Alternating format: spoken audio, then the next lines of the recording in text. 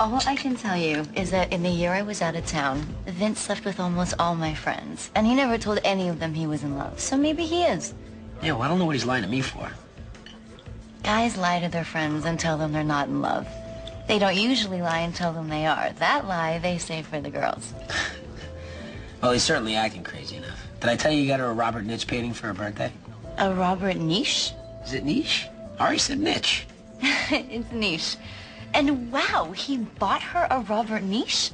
That's really expensive. Yeah, well, actually, Ari pulled it off the wall and gave it to him, but still. Oh my God. What's so funny? It's a fake. What do you mean? I mean, Ari's notorious for hanging forgeries in his office to impress his clients. Oh, please tell me you're kidding. No. And I don't know if it's true, but my father told me he changed the numbers on his wife's Mercedes. So she thinks she's driving around in a 600 and really it's a 5. Oh, that's crazy. yeah. What's crazy is to fight with your best friend over a girl. Especially a girl you're not even interested in. You should go to the party. You should go with me. I would love to.